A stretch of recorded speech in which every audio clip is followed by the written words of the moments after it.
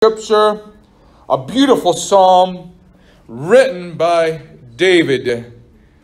In Psalm 84 says, How lovely is your dwelling place, O Lord God Almighty. My soul yearns and even faints for the courts of the Lord. My heart and my flesh, they cry out for the living God. Even the sparrow has found a home, and a swallow a nest for herself where she may have her young, a place near your altar. O Lord Almighty, my King and my God, blessed are those who dwell in your house.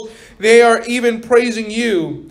Blessed are those whose strength is in you, who have set their hearts on pilgrimage. And as they pass through the valley of Baka, they make it a place of springs. The autumn rain is also covered with pools. They go from strength to strength till each appears before God in Zion. Hear my prayer, O Lord God Almighty. Listen to me, O God of Jacob.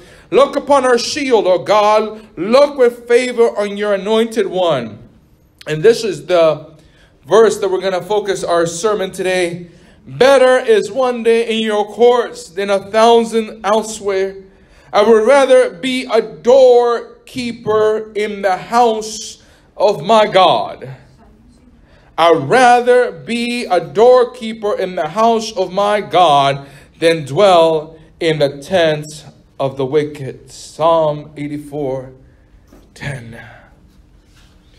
See, something that David happened to understand when he wrote this psalm is that David had experienced so many things throughout his life.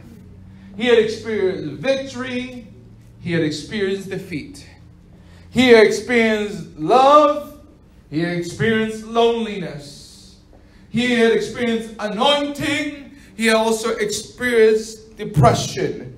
He experienced the greatest of moments where he is at the top of the mountain and he's also hidden in the deepest of caves away from his enemies. He has had the love of a family and he's also slept with another man's woman. He has been blessed with children, and he's also has lost children. He has lived in the unity of a kingdom while his house is falling apart in rebellion. And yet, through all this, David says, I would trade it all in. I would trade everything that I've been through in my life. For I understand at now, at this point, that every debt, every fault, every broken heart that I had to go through in my life was to make sure I fit in the right place, to make sure I fit in the right moment that God called me for. I fit in the right situation, for it is God who has placed me here. It is God who has put me through these paces. And sometimes, even though I get mad for the people He takes away, is because He's preparing me for something better that is yet to come. So I'd rather spend one day in His courts than a thousand elsewhere. Better than a thousand days of receiving the welcome of a hero when I come back from the victory of the battlefield. I'd rather spend one day in the courts of the Lord than having people praise me and my name be known throughout the land. I'd rather spend one day in the courts of God than taking care of sheep in the field. I'd rather spend one day in the courts of God than writing all the psalms and songs that I could ever write in all of my life. Because when I am in the courts of the Lord, he says, I would rather be a doorkeeper. When you are a doorkeeper, you make sure you know who comes and who goes by that door. Another point, another way of saying is you have an access point to see what comes and goes.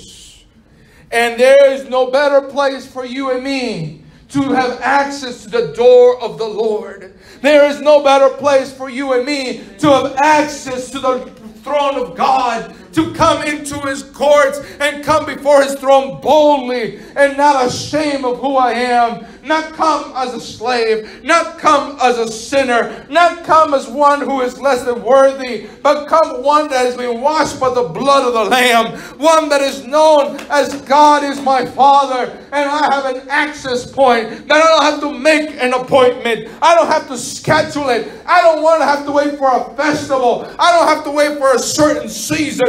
I don't have to wait till I have enough money to give a love offering. I have an access point to my God. He has set me in His door. He has set me in a place. And if I am set in the right place at the right time, at the right moment, there is no devil, no demon, no strongman that can ever bring me down. There is no disease, there's no problem, there's no issue that can take away my joy. Because as soon as the devil tells me I can't do it, I turn around and say, There's an open door. There's my God. There is my availability. There is my answer. There is my help. Because I am at the door.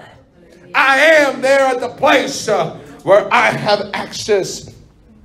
For you see, when you have access, you have something better than any blessing. When you have access, you have greater than any more money in the bank because you have something called favor.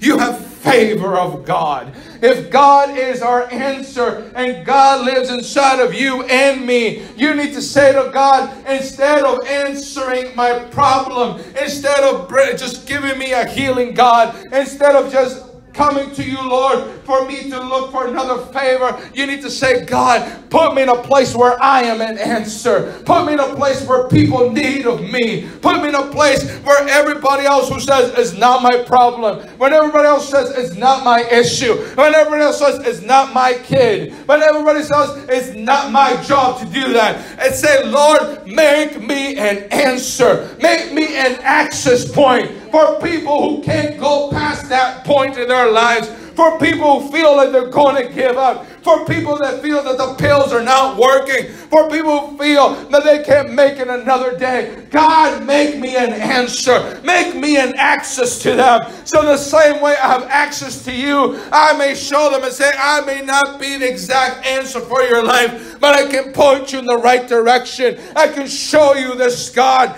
this God that can make anything and everything work in your favor. For too long, we have believed that happiness is by what we have. Happiness is by how many cars you got in your garage. Happiness is by the amount of money you make or the kind of husband or wife that you have or how successful your children happen to be or how much money you have in your bank account when you retire. But David said, uh uh-uh, uh, that is all good and plenty. But this is what I mean in my heart. He says, These are the decisive words of my heart. I have been through everything. I have been in a home where my father was ashamed to bring me before the prophet. I was in a place that I was treated just like any other simple servant and made to go look after the sheep. But I also been in places where God has sent for me. I have been in places where I at least did not expect, and yet God saw me through what I was going through. He saw that my praise was honest. He saw that my worship was more than worthy. He saw me in places where everybody had forgotten about me, and yet my loving God, my heavenly Father, the one that knows me by my name, that even before I was created in my mother's womb, He knew of me. He knew of my steps. He knew of my faults. He knew of my strength, and He knew of my weaknesses, and He has sent for me. I'm here to tell somebody today that God is sending someone to get you. Somebody's sending God is someone to get you for where you have been forgotten. Maybe you have been forgotten because of your skills. Maybe somebody has forgotten you because you're just involved in too many problems. But God is saying, We will not sit, we will not rest we will not keep quiet till we send for the one God is looking for today. We will send for that answer. God is not going to rest. Your enemies are going to stand in shame because God is sending for you. He is sending for you. Whether you're in the field, He's sending for you. Whether you're in a prison, He is sending for you. Whether you're in a hospital, He is sending for you. God is sending for you today because you are the answer to the problem that people don't even understand they're going through. Instead of saying, God bless me, say, God, make me an answer to a problem. Because when I am an answer to a problem, people look for me. People send for me. People see me for who I am. You don't need to understand that the Pharaoh did not know Joseph for who he was. He did not know that he was the son of a slave. He did not know that he was the son of Jacob. He did not know that his brothers had betrayed him. He did not know that he had been sold to the Midianites. He did not know that he had run Potiphar's house. He did not know that he had been falsely convicted of being unfaithful to his master. What he did know is that there was a famine. And if they did not find an answer to that famine, it did not matter if Joseph was the answer. Joseph was going to die in the prison, just like all the Egyptians were going to die of the famine.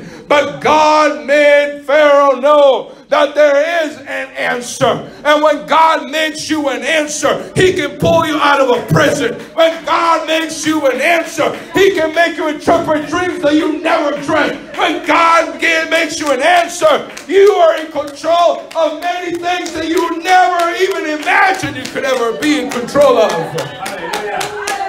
You need to say, God, make me an answer today. I need to know, Lord, that there's so many people out there, there's so many situations that need to be resolved. Make me the answer. Make me the answer. You need to be aware that only because you're an answer doesn't mean you're going to be an answer forever. You need to say, Lord, put me in the right place at the right time, at the right season, so that I don't see myself by how other people see me. I see myself by how you see me, oh God. Whether I am called to serve my brothers like David was in the battlefield and he saw the giant and he said, God, make me an answer in this situation. You need to say, Lord, make me an answer today. When you are a believer in Christ Jesus, you know there is no higher joy than God. No amount of surplus, no amount of jobs, no amount of degrees from a, from a university or a college are more than enough, more than powerful, more than wealthy that can compete for who God is. You need to see that God is what the world has been waiting for. You need to understand that there's no amount of money that can purchase what God can mean for you. There's nothing you could ever trade that could ever amount to what God is. No matter how deep of a problem you need to oh, know that God is always there for you and me. David had been through it all, had been through the loneliest of loneliest moments, through the most miserable of miserable situations, moments when his life was in danger, moments when even the king had thrown a spear at his head. He had been of moments that he had not slept all night long, and there had been moments when his success had grown so much overnight that the king was jealous of his success. But he had also been a murderer. He had also lost a child. He had also had threats to the throne. He had also been persecuted. He had been ridiculed. And yet he writes, I'd rather be one day in your courts, oh God. When we come to church, when we come to praise, we come because we'd rather be here than anywhere else. I could be anywhere else at this moment, but nothing can ever take the place of God. You need to understand that even though sometimes when you and I are away on a Sunday, I look at the clock when it says 11 o'clock and I have a moment where I say, God, I need to pray. Because even though I am not in church, I am missing that fellowship. I am missing that moment with you, God. Even though there is times that I've been taken away because I have to spend time with my family, away on vacation. Maybe you're traveling. Maybe you're working. I'm not here to tell you how you should spend your time. But I know in my heart that when I see 11 o'clock on Sunday and I'm not in church, I have a moment that I need to pause and say, God, thank you. Thank you, God. Because you do so much for me that the least I can do is remember you. I remember you for who you are and how great you are in my life how you provide for all of us and keep us all safe, how you look after our family, how you keep us away from danger, God, how you keep providing in times where I even forget to thank you for the things you provided for me. And so, Lord, I thank you because the greatest gift that we could ever receive is the gift of God. God is better than anything that the world has offer. And we need to understand that the Bible, when it reveals God's plans for you and me, it always has a brighter future. It always has a better ending. It always shows, no matter what the circumstance, no matter the obstacle, the gospel of Jesus Christ shows us that we will win at the end, that we will be victorious, that our God is not going to lose. But if in anything, the Bible says that every knee shall bow and every tongue will confess that Jesus Christ is the Lord. He will bring down the evil in this world. He will destroy all the weapons that are found in this earth. And He will bring a new heaven and a new earth. And He will reign forever and ever. As Christians, we need to understand that God is better than anything that God can ever offer you. God is better than anything that God can offer you. What do you mean by that, preacher? That God is bigger than any gift He could give you. God is bigger than any blessing He can give you. Because God, just by being God, is more than enough. The fact that He is God, He suspends the stars in the right place. The fact that He is God, He makes the earth rotate on its axis. The fact that He is God, He keeps the winds and the waves from crashing into all over the world. The fact that He is God, He makes the sun rise up and go back to sleep. Because the fact that He is God, we have more than enough oxygen to breathe. The fact that He is God, He controls everything that is happening in this world and in the world that we cannot see. More than any blessing, more than any gift, more than anything that we could ask for. The fact that God is God is more than enough. The fact that we are saved is more than enough. I need to tell you something today, and it may come to a shock for you. There are people in this church that read the Bible more than I do. There are people in this church that pray more than I do. But they are not less blessed by God just because you don't see material things. We got to get away from that mentality that if you give more to God, He's just going to give you more back. We got to wait, wait, get up from the mentality and wake up from the mentality that if I shout five amens and do six hallelujah dances, that God is going to give me something. You need to understand that God blesses us in ways that money cannot do. God blesses us in ways that our eyes cannot see. God blesses us in ways that even though it may not reflect in our bank account, there are some blessed people that come to church and they're not afraid to say, God, thank you. I praise you. I praise you. I thank you, Lord. Thank you, Father. Thank you, Son. Thank you, Holy Spirit. Thank you for what you are in my life. For too long, we have compared God to what we see with our naked eyes. But that's not what faith is. Faith is evidence of things unseen, things that are yet happening, things that are happening behind the curtains, things that are happening behind the scenes that we don't have access to. But one day we will see fully. One day we will fully understand that this craziness that we're going through, that this hectic moments, these moments that were so painful and lonely, God meant them for a greater purpose. You need to understand that when you see yourself as an answer, God will always pull you out. But when people see you as a problem, they will always push you back down. That's what happened with Joseph. His brothers saw him as a problem and they put him in a pit. But there came the Midianites and they saw this boy inside of a cave and said, uh uh-uh, uh we can make money off this boy. This boy is an answer to us. And when they put him up on an auction to be sold as a slave, Potiphar saw Joseph as an answer in his life. Uh, you need to understand that when you are an answer, people will always promote you. But when people see you as a problem, they will always demote you. They will always put you down. But you don't need to live your life by what other people think of you. You don't need to live your life walking on eggshells trying to please everybody. You need to say, God, as long as I am an answer to you, as long as you send me wherever you need to send me, Lord, even if I go in the deepest of hell, there you are. Even if I go in the worst of places, there I know that you can pull me out because when I am an answer, there is no door that can be shut. There is no rock that can keep me inside a grave. Even if Jesus rose, rose on the third day and is seated on the right hand of the Father, and he said, I will do much greater things than what he has done, then I can do all things in Christ Jesus who strengthens me. Hallelujah. We have gifts.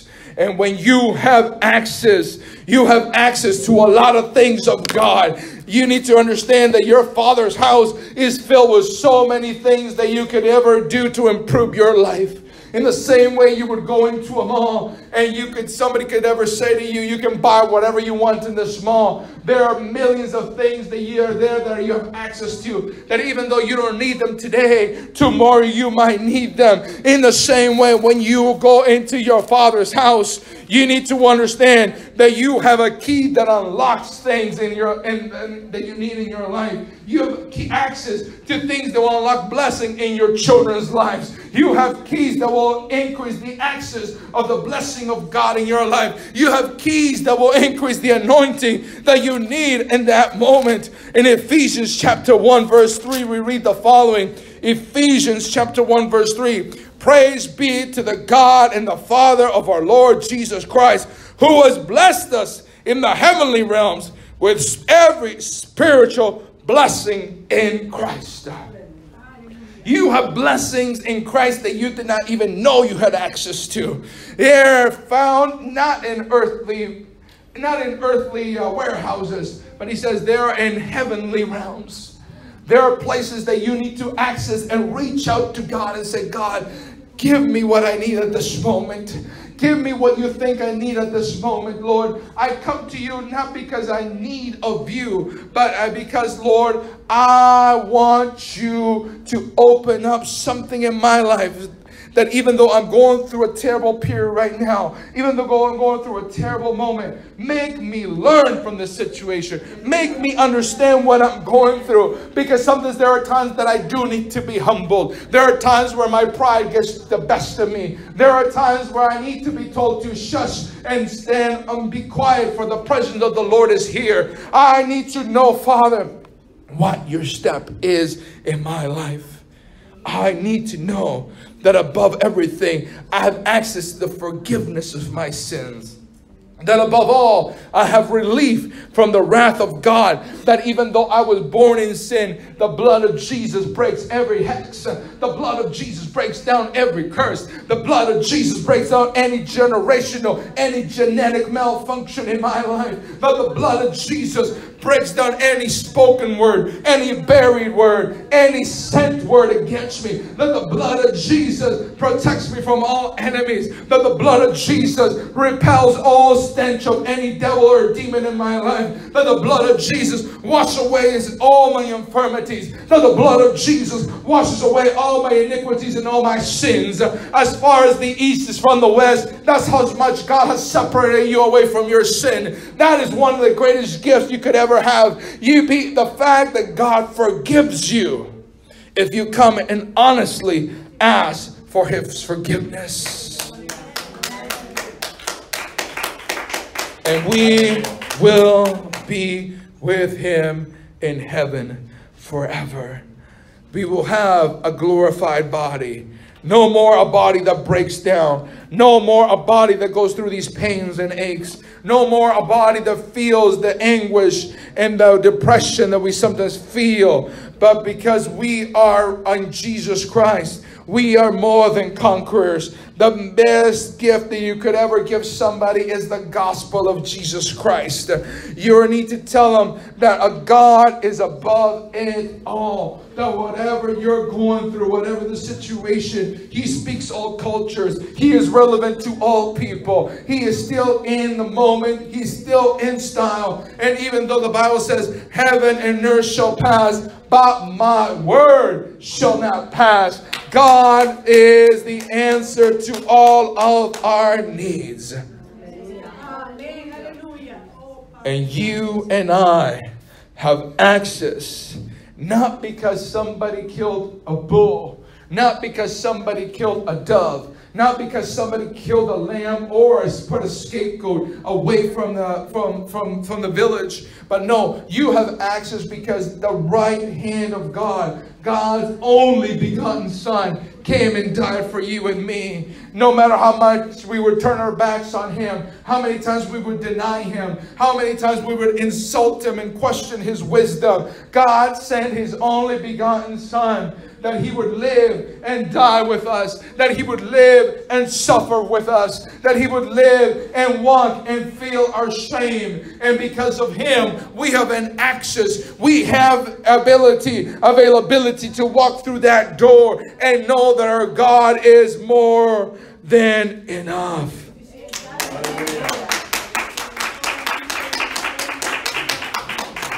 When I grew up as a young person, the message of the Bible was you are a sinner, hell is hot, and the only way to get out of hell is to believe in Jesus. And it was either believe in God or you're going to hell. It's true. It is true. But it also falls short of showing us the beauty of Christ. That I need of God not because I don't want to burn in hell, is because I need a Christ because he created a world for me to succeed in. It's not about what's going to happen to me once I die that I need to be focused on all the time. But I need to be aware that in this world, in this moment, in this environment, God is opening up ways. God is sending me blessings. God is keeping dangers away from me. God is shifting the right people into the right places for the right moment. God is sending blessings my way. God is sending favor my way. And if I just depend on God to keep me away from hell, then I only need of God just to do me a favor. But when I say, Lord, I rejoice in your presence every day. Lord, I need of you more and more. Lord, I want to develop a relationship with you. That I came to know you, not because I want to get away from hell, but because I want to experience heaven with you, Lord. When I learn to understand that I came to be saved, not because I felt guilty, but because I realized that it is better to be in his courts for one day than a thousand elsewhere. Then I realized that there are many more blessings that can open up to me. There are many more things that are more available to me. When I open up my mind and realize I am not here because I am afraid of dying today. You know, that was the famous line that they used back when I was young. If you were to die tonight, do you know for a fact that you're going to heaven or you're going to hell? Well, let me tell you, if I were to die tonight, there is no better place to be than the presence of God. I need to be in His presence, whether I'm alive or dead, whether a bus hits me and I'm stuck in a hospital in a coma. I need to be in the presence of my God. How would you feel? That if you were to marry somebody and they told you one day after you guys got married that the only reason they married you is because they were afraid to be single forever. Or the only reason they married you is because you could provide them money. Or the only reason they married you is because they thought you guys could have beautiful children together. And you wondered to yourself, well, what about me? Do you not love me for who I am? Do you not love me and be in my presence? That when we sit down and have dinner together, do you not enjoy my company? That when we sit down and watch TV together, do you not feel at peace in our own home? Do you not feel that? Imagine how God feels when we only say, God, I need you to get me out of this problem. When we say, God, I need you just because I need you to uh, cure me from this disease. If that is the way that we would feel if our own spouse and even sometimes our own children make us feel like that, that the only reason they love us is because we give them things. And sometimes we need to remind them just like the brother of the prodigal son. I love you just as much as your brother. You have had access to everything in my father's house. But not once have I heard you tell me that you love me. Not once have I heard you say that you're thankful for the things that I've done. Because even though the prodigal son left the father's house, and he ashamed his father. He brought shame to the house. And he came back ashamed of what he had done. There is no greater sin and grief for a parent to also have a child in the house that continues to be ungrateful and looks down at the mistakes of others when they don't even give you love and affection.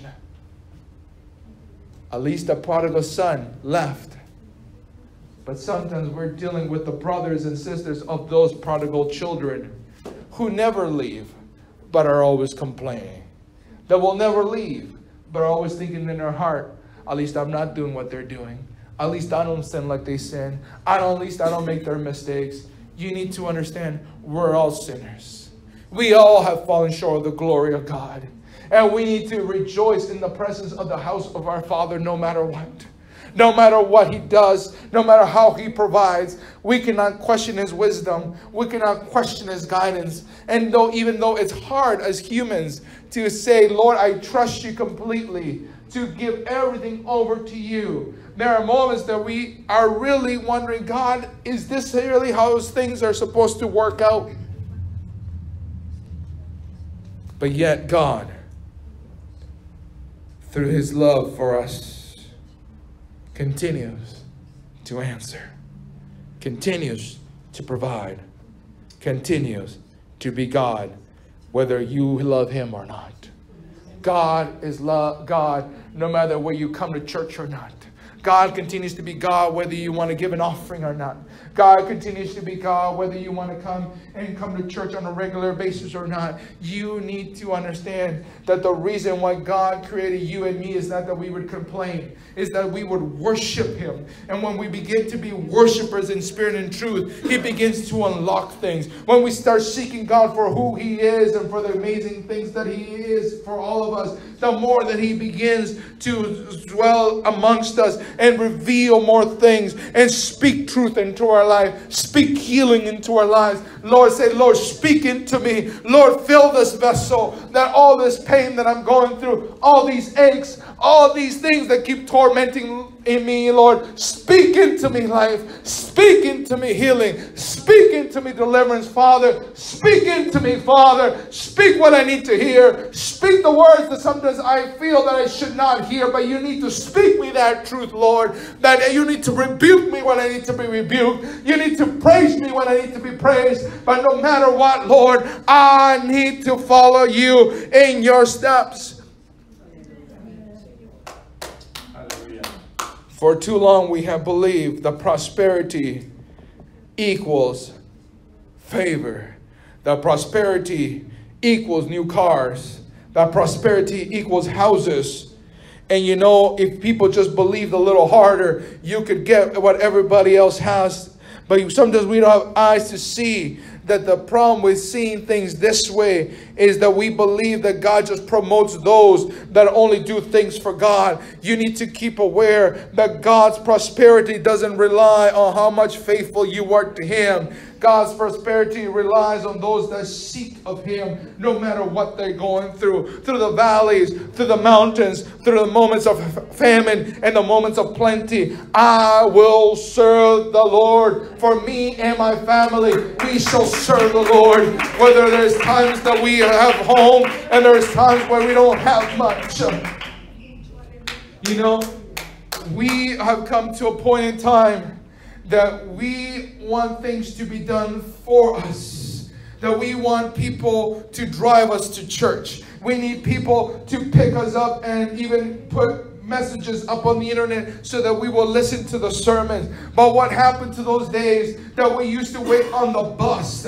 We had to wait an hour before church at the bus stop. We had to make sure we had enough change to get on the bus. No matter what the weather, whether it was sunny, rain, cold, hot, we would wait on the bus to make sure that we got to church on time. And once we got to church, there was no better place to be than in the house of the Lord. But we have to change that mentality, this me first mentality, where everything comes about me, me, me, me. But when I think about me, I begin to realize that I have so many shortcomings. When I think about me, I realize how many mistakes I have made. When I really focus about me, I realize how imperfect I am. And so I turn to my God and say, Lord, I need to be more disciplined in being more focused on you. I need to be more disciplined by laying my life at the altar, God. I need to be more thankful for the things that you do, for the things that I see and the things that I'm not aware, for the things that are revealed and the things that are unseen in my life, Lord. The things that you are doing and the things that you're not doing because it's not the right moment and not the right season. But I need to get away from that mentality. The prosperity means means I'm more spiritual. Now prosperity means that I'm more favored. You and I need to understand that our God loves us all equally and that He has blessings that only are meant for you, that only you are the key, that you have the only digital fingerprint that can unlock that situation. If your own fingerprint can unlock your phone, imagine how much more your own digital spiritual fingerprint can unlock a blessing of God in your life. There are things that are only meant for your eyes to see in a certain time, in a certain period, and you will know that only God could do it because only God can answer the way He has answered in your life. So, what do we do? What do we do with this information that we have God as the greatest gift? Well, if God is the greatest gift, and His greatest gift is Jesus, and the reason why he sent Jesus to die for you and me is because we are the most valuable treasure in Christ Jesus. How much more will heaven be more amazing? That we will all be gathered together, praising the name of God. Jesus is the center's piece. Jesus is the tree of life. Jesus is that door. Jesus is the good shepherd. He is the bread of life. He is the way, the truth, and the life. And there's no other way to the Father except through Him. And that's why David said, I'd rather be in your courts than a thousand elsewhere. I would want to be your doorkeeper. So you need to understand that joy is more than just a location. Joy is not found in Orlando, Florida, in a place called Disney World. You need to understand that you and I can experience joy even in a hospital waiting room. That you and I can experience joy even at the place where somebody's being buried at a cemetery. To know that in our hearts that eh, they, we will see them once again when we get to heaven. Joy is, a, is more than just a feeling, but it's a state of worship, a state of thankfulness that no matter where I am, no matter where I find myself in, and no matter what the news comes to my heart, I will find joy. I will find peace. I will find what I need to know in Christ Jesus because more greater than hope and joy, the Bible says, the greatest of these is love. When I love my Savior, when I love my God, there is nothing that can sway me from Him. There's nothing that can distract me from who He is in my life. We must have God the same way that you and I breathe oxygen. We must truly love Him more than even we love our children and our and our and our and our partners. Because anything else without God is never the same. Everything you buy, any vacation, anything that you treasure, I don't even care if you buy it at the dollar store, it will not have the same effect if you don't have God in your life. Because He is the center of it all. Because when He is the center, He sweetens everything that we do. When He is the center of our worship, we could only have four people here singing, but it could be the greatest worship experience ever. Because when God is the center, everything else is better. So, as we conclude, where would you rather be today? Where would you rather find yourselves? Would you rather find yourselves in arm of a lover? Would you rather find yourself in a bank account that has over a million dollars? Would you rather find yourself where you are the MVP of a game? Where would you rather find yourself at this moment? The greatest thing I find about the writing of this psalm is that it's Ray David that wrote it. This was not a man that was born in, in riches. This was not a man that had the favor of his father. This was not a man that had everything given to him. If anything, he felt what you and I felt. He went through what you and I had to go through. He was sometimes brought to shame by the people that he loved. The, he loved so dearly and loved so much because he trusted them. And yet, David says, A day in your courts is a better than a thousand I swear. I'd rather be a doorkeeper. I'd rather sleep outside the door and sleep on a mat than sleep in the most comfiest of beds of kingdoms. I'd rather be outside in the elements waiting for the door to open than to be anywhere experiencing all the riches of this world. Because greater than being a believer is having access to my Father. Because I know that in my house, there, there is more than I could ever imagine. Being in my Father's house, it is the place where I feel the most at peace.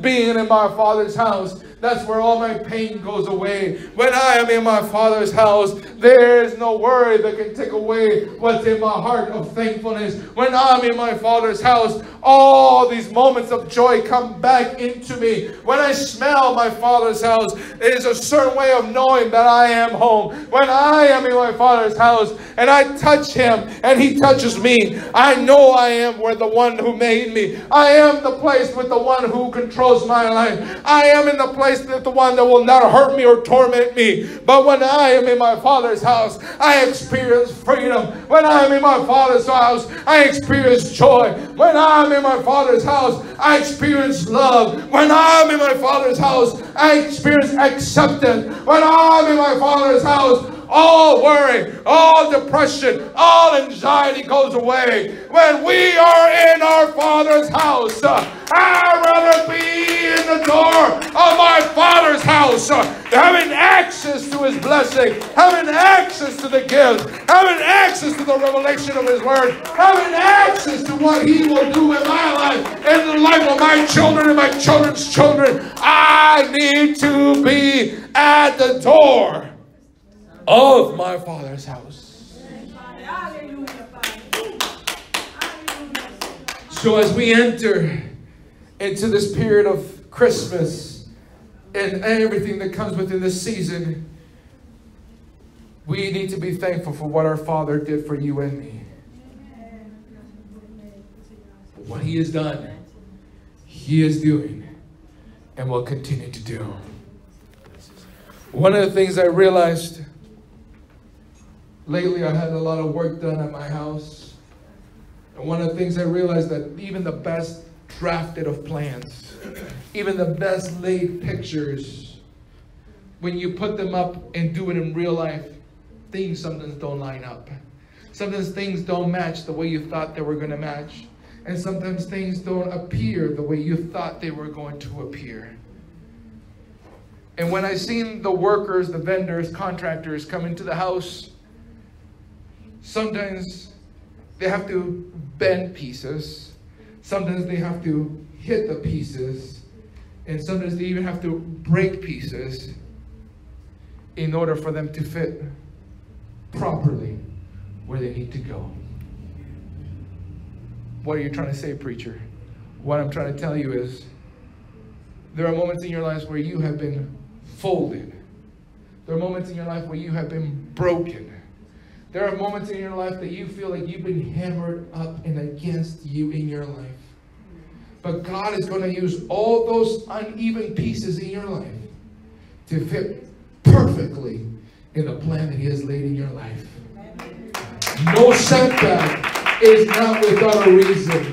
No broken heart is not man without a purpose because God is putting you in the right place uh, where a perfect piece will not match but because you have been dented, because you have been broken, because you have been folded, amen, because you've been in the hands of the Master, He will put you in the right place, uh, in the right moment, in the right situation where nobody else could have fit. No else better with a better life could have fit there. Nobody else could have, could have been a greater mother than what you could be for your kids. No one could love your children like the way you love your children. Even though you feel beaten, even though you feel burdened, even though you feel at times that you don't even want to get up and feed them. God is saying to you and me, I have bent you because I am the potter and you are my clay and I will perfect you in my hands. I will perfect you for my purpose. I will perfect you for my plans. And this is the word that somebody needs to hear today. Just because other people don't think I'm perfect, I am perfect in my Father's hands. Only because other people don't love me, I have a Father that loves me. And even though other people may not hire me, I have a God that blesses me no matter what I'm going through. Lord, make me an answer. Lord, make me an answer. No matter how many people push me down, make me an answer. Because an answer only is an answer when the people are bringing them up, but an answer cannot be an answer when it is covered. God discover me. God open me up. God reveal myself to people that need of me at this moment. Hallelujah.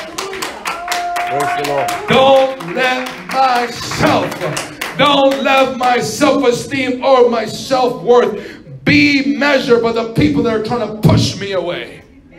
Because people who are pushing you away are people who see you as a problem. God did not create you to be a problem. God created you to be an answer. And there will be a time where somebody is going to unlock the prison cell like they did with Joseph. And you know what Joseph did? The Bible says that Joseph shaved himself. Joseph changed his own clothes uh, and Joseph presented himself with the Pharaoh. You need to hear this from God right now. When the door is unlocked, and the King of Kings calls for you, you need to shave everything from the past. You need to shave all that shame. You need to shave all that embarrassment. You need to shave anything that resembles a slave for the devil. Because when you go before the throne of God, you need to have a new look. You need to be a redeemer, washed in the blood of Jesus. You are sanctified. You have been washed by the blood of the Lamb. And you need to present yourself like a favorable person before the King. Hallelujah.